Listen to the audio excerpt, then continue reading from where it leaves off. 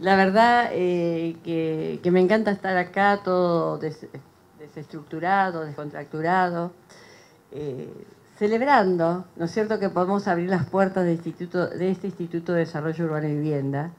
Era fundamental integrar toda la parte operativa del EDUP en un solo lugar. Y obviamente que este predio también va a dar eh, seguramente para que sigamos haciendo otras cosas que tienen que ver con el funcionamiento del Estado. Lo importante, lo cierto, es empezar y terminar las obras. Y si no la pudimos terminar antes, todos sabemos bien por qué es.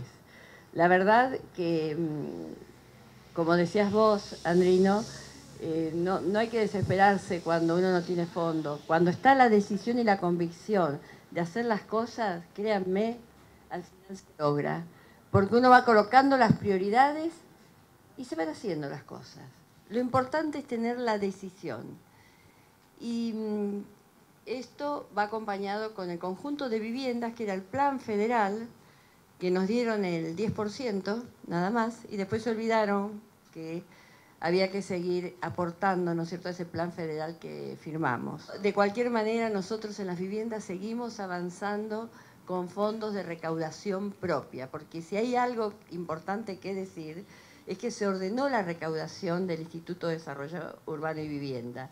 Y con eso estamos haciendo las viviendas.